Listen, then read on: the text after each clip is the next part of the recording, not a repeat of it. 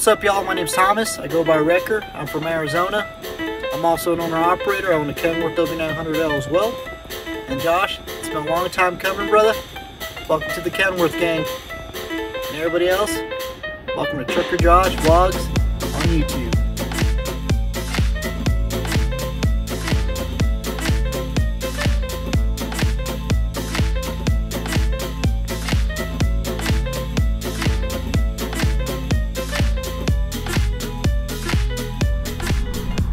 Morning, everybody. We're here. Good morning, traffic. Good morning, bus. Good morning, go kart. I saw a Porsche on the way in today. It was very nice. We're at the fertility clinic in Winnipeg. Britt had an appointment. This is the appointment that I had to rush home for. Uh, it's called an ERA. I'll let her talk about it when she gets back. I'm not too sure what it is exactly. Apparently, it, it can be a little painful. So I wanted to be here today with her and for tomorrow to make sure she's all right. She's upstairs right now. What I do know is that this procedure will tell us exactly when the transfer needs to happen. Uh, for those of you that are new to the channel, my wife and I, uh, we're in the middle of IVF. Uh, so not just a trucker, we've got other things going on in the background too, got some other family stuff going on. And this procedure is supposed to help us know when the transfer uh, takes place. We have two eggs that are frozen right now, or two, they're not eggs, they're two uh, blastocysts that are ready to be implanted. Uh, we're hoping that the first one, first try will be next month. So Old Blue is all ready to go. She's all deckled up. You saw it yesterday, right? We're uh, available to leave tomorrow afternoon, evening. Uh, it'll be Thursday. I'm not too sure if they'll have something for me. Because if they do have something for me on Thursday, it'll be something that I'd have to deliver Friday. And then they'd have to find a reload for me Friday yet to get me back. I have a feeling that it might turn out that I'll have a, a, load that I'll have to deliver somewhere on Monday, which means I'd have to leave Saturday, Sunday. When you have an appointment in the middle of the week like this, it sort of throws off the whole rhythm, and we haven't even really gotten into our rhythm yet because we just started on regional. So I'm still trying to figure out my rhythm, trying to get it to a point where I can, you know, hopefully leave Monday morning, work throughout the weekend, sort of be back on the weekend. But with this uh, appointment, it throws it off a little bit. It might have to work through the weekend, but that's okay. On regional, uh, I'm not too sure where I'll, I'll be going, but I, I, can tell you what I'm comfortable with doing, uh, what I'd like to do. I mean, it doesn't mean that what I want, I get all the time. That's not how it works. So when I say the word regional, what I mean is probably about a thousand mile radius of home base. About a day and a half in any direction or so. That's that's what I think of. Now I don't always get to choose where my boundaries are, how far I'll go. That's not always up to me. I go where the loads go. I follow the money. Wherever the big money is, you'll find me. I like that money thing. It's uh it's very helpful in life. I own my own truck now, uh, on percentage in regional division at Keystone. So a lot of people have asked me like, what is regional? Regional to me might be different than regional to a European because we have a very big country. So here it would include all of the prairies, Manitoba, Saskatchewan, Alberta, maybe some of Ontario, like up to Thunder Bay, down into the US, including what's within a thousand miles, like North Dakota, South Dakota, maybe Nebraska, uh, Montana, Minnesota, Wisconsin, maybe into Illinois a little bit. Uh, what else is around there? Iowa. Did I say Iowa? What's what's beside uh, South Dakota. Is that Wyoming? The general center of the continent area. I mean, I I'm still I just bought my truck. I'm just getting going here. We don't have a rhythm set yet. I'm not sure where they're gonna send me. That's what I'm assuming in my head when they say regional. That's what I'm what I'm assuming. But you know, the odd trip may take me further, and they may ask me like, "Hey, Josh, we have this like, we have this real sweet gravy load. It's got a lot of cha-ching attached to it, and it's going down to Tennessee, or it's going down to Georgia, or Florida, or whatever." It's like, "Do you want it?" And then I'd have to, you know, talk to to Britt and say, "Well, do we have anything planned for the next week?" And if we don't have any plans, I can get back to them and say, yeah, you know what? It'll work for me to take that and go down there uh, and take it back. But uh, I don't think I'll be going down to Florida very often. But again, I don't know. I don't know. We'll find out. We'll find out. You never know. I go where the loads go. I don't know what the future holds yet, but I am going to be trying to stay. Uh, I'm going to try to stay, you know, within a reasonable distance from home, so that I can I can be here when my wife needs me and when my family need me at home because we're going through a very uh, uh, in-depth process right now with this whole IVF journey, and I need to be I need to be around for that. So while my wife is upstairs in the clinic getting this procedure done, I have to wait down here in the husband section, also known as the parking lot. Uh, they, they still don't allow us to go up with them. And really, honestly, what would I do up there? I would like to be in the room with her while this is going on, but I would just be in the way. I would be. And I'm right here. I'm down downstairs in the parking lot. Would I prefer to be there in the room with her? Of course. But uh, you know the world's a different place right now. For the most part, like uh, the provincial restrictions in Manitoba, they're all gone. All gone. Like it's back to life as normal, except for these few cases at doctors' offices, and, you know, dentist offices, and uh, a few select places where uh, they still have reasonably uh, tight restrictions. And it sort of makes sense you know it's just there's a lot of pregnant women that go up there and women who are trying to get pregnant and the amount of germs we can limit up there is always you want you want it to be as clean as possible. So the fewer people that go up there the better even without this past pandemic that we just had the fewer amount of people that go up there the better you just you don't want anything or any germs up there that you don't need right and let's be honest we're all packed full of germs all of us. I, I can understand. Maybe this is what they should have done all along, but what do I know? I'm not a scientist.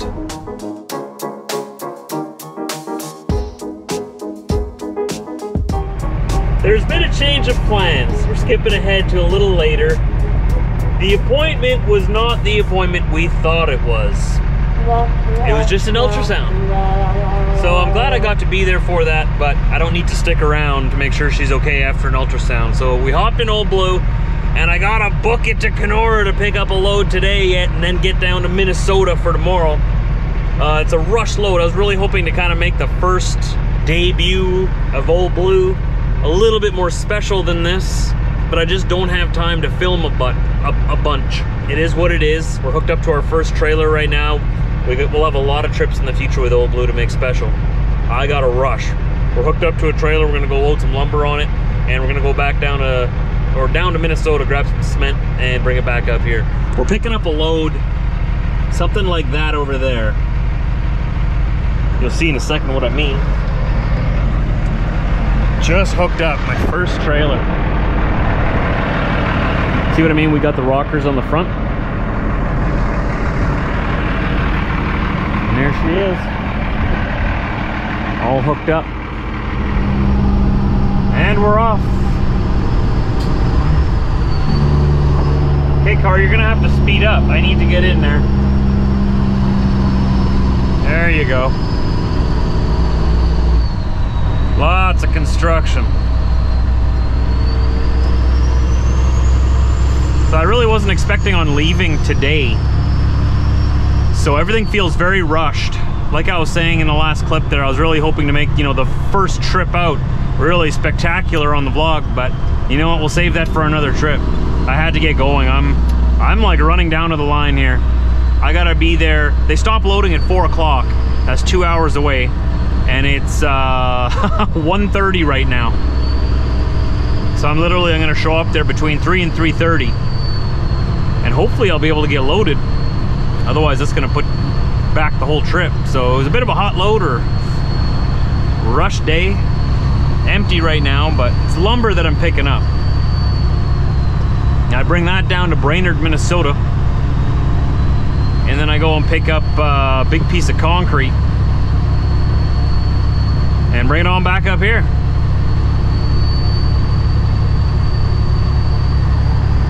Want to listen to this turbo though? It's beautiful.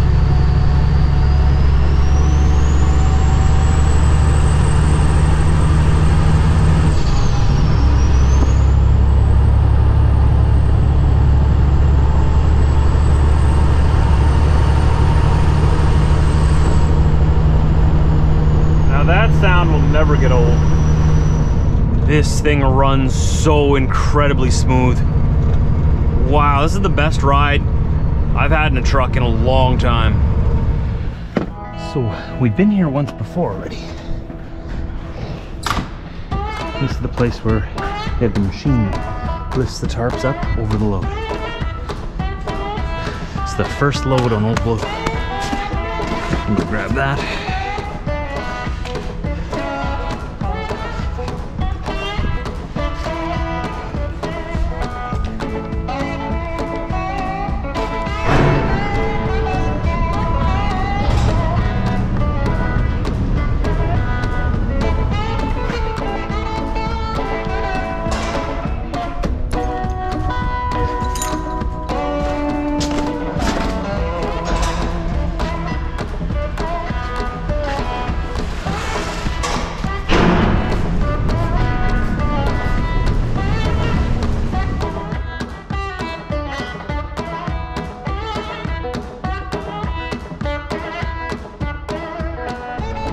Now that I'm the only one in here, I can talk to you guys a little more loudly.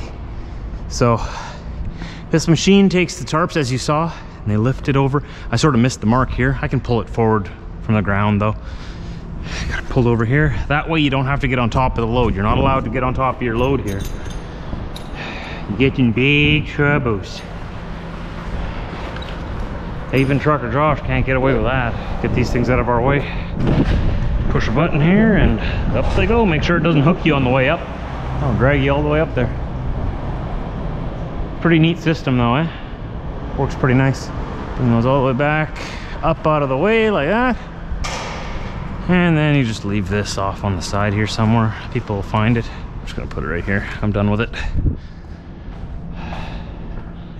Oh, that thing sounds amazing too. Just like from where I got loaded, putzing over here and into here, just the sound of the rumble. that truck was a good decision. That was a good life choice. Pull this this way. Come on. Come here. There you go. You see, you want the corner of the flap to be right at the edge there. I'll go around to the other side. Thought I heard someone knocking over there. Diesel's inside here. He's got the fan on.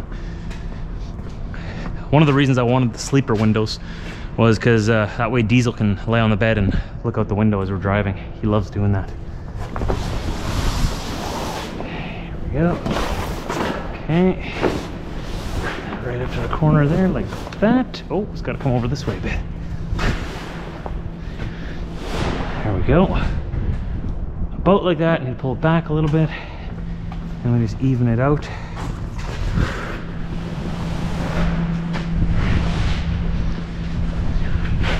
Must be caught on something on the other side. And then you just roll this up underneath here like this. And you tarp it in. I gotta finish the back here yet. I'm just getting them all on right now and then I can just go to town with the bungees. What's going on over here? Why aren't you pulling over? There we go. It's looking good, eh? Perfect. I think that'll be a good looking unit going down the road. What do you think? Yeah, old blue, all the way back. Mint. Mint. Okay, we gotta stop staring at it. It looks beautiful, but I gotta get some work done here. I'm gonna leave you guys in the truck for a bit, okay? It's time for you to judge me on how well I tarp my load. Give me your best shot. What do you think? First time I've I'm walking around looking at it, so hopefully I didn't miss anything, because that'd be embarrassing. All right, all right, so all the way back here, we used three tarps, started at the back, worked our way forward. That way the wind blows over and not under. Otherwise you got big balloons behind you. Nobody wants to haul balloons. All right. There we go. Nice and neat, nice and straight for the most part. Wrapped up like a little Christmas present. There you go. Old Blues first load. Let's take it to Brainerd, Minnesota. America. All right, Diesel, you ready to go to Minnesota? Start her up.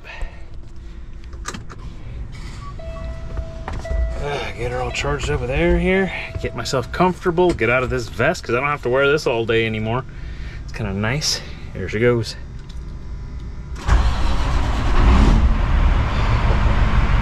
Oh, yes.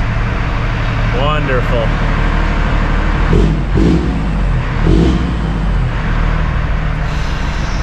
That's how you know it's me. I like those a little too much.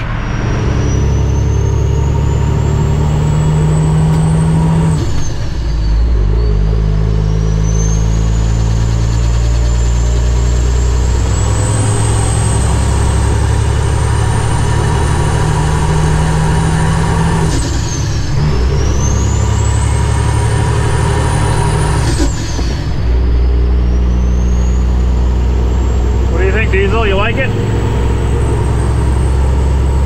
That turbo is so loud. Wow.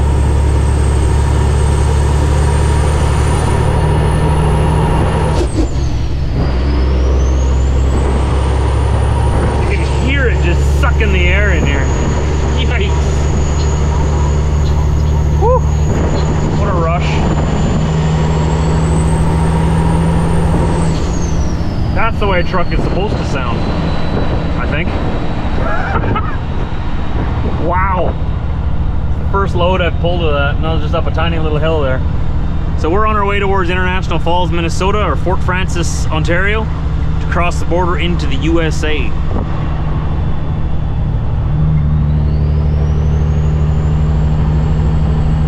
Some people have asked if uh, this high shifter is annoying. It's actually much more comfortable than having it down here. I like it here. Feels good. I gotta get a little new piece for in here. In 400 meters, turn right on Trans-Canada Highway, Highway 17A.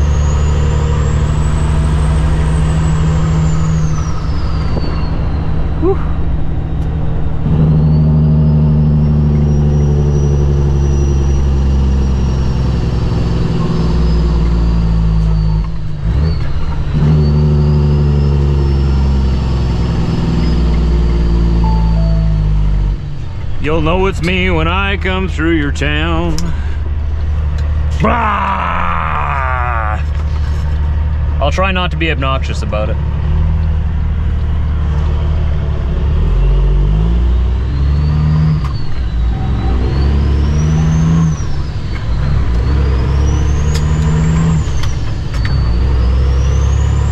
Continuing on this road for 12 kilometers.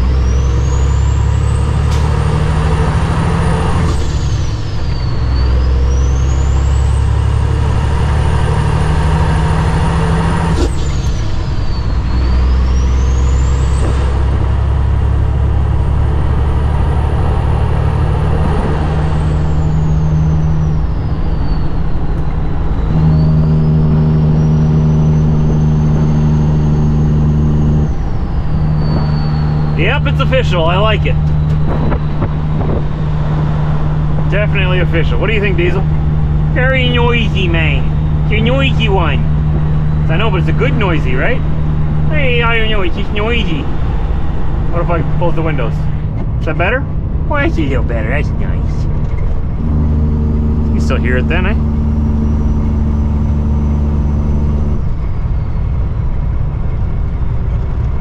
That's nice. That is very nice. Yep. Happy trucker right here. Right here.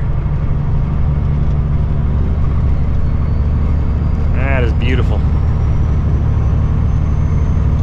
And we get some nice scenery to go through right away. Look at this.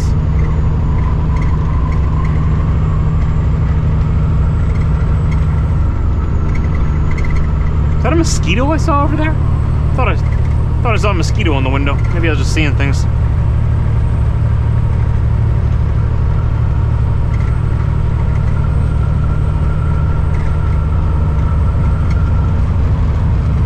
This is trucking.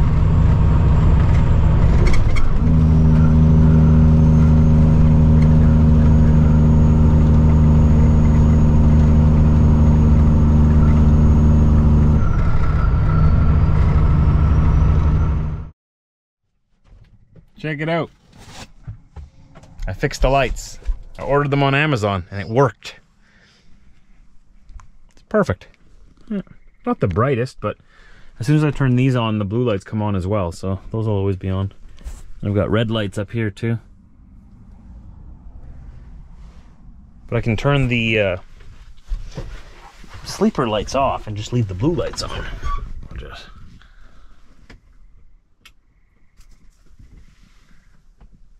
kind of cool, eh? The red lights up there as well. How do I show you this? That gives it a nice glue, uh, blue glow in here.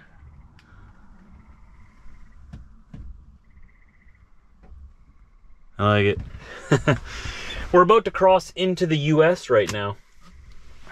Uh, crossing from International Falls, no, from Fort Frances, Ontario, Canada, into International Falls, Minnesota, uh, USA. I haven't crossed here in a long time, and this is my first time in this truck. So they're probably gonna have extra questions for me. So I gotta I gotta make sure all my ducks are in a row and make sure all my paperwork is lined up and I have everything ready for them, so that I don't have any like deer in the headlight moments.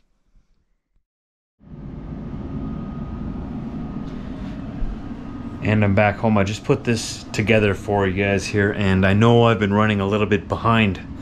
I told you this might happen, but that's okay. I'm gonna catch up, and either today or tomorrow or the next day, you're gonna get a dump of a few vlogs in one day again. So I hope you guys have got nothing better to do than to watch Trucker Josh vlogs. And I hope you're really bored because I've got a bunch of vlogs coming for you. I'm trying to catch up here. I'm uh, filming this last clip here on Sunday. Uh, so it is uh, I'm a little behind. Thanks for watching today, though. I really appreciate it. I was kind of, I was really hoping that the first maiden voyage, No Blue, I could make like super special, and I could take my time. And but reality is, trucking is a rush, rush sport, right? Rush, rush, rush, and especially this trip, I had to get to Kenora to get loaded by a certain time. I just barely made it, and I had to rush down to Minnesota and to rush back because I wanted to get home. I was hoping to have more time, but uh, there will be so many more memories to be made in, in Old Blue as time goes on. And, you know, I'll do like feature films and feature stuff on just the truck and certain trips. I'll make, I'll make it more special in the future. But today was, uh, was a special day for me, anyways, in this vlog, the first day out. Had a lot of fun. So thanks for hanging out with me all the way till now, to the end of the video. Give that thumbs up if you like me. Give a thumbs up if you like the truck. Give it a thumbs up if you like the video. Don't forget to subscribe. And uh, we'll see you in our next video either uh, later today or tomorrow. We got a couple coming down the pike here for you.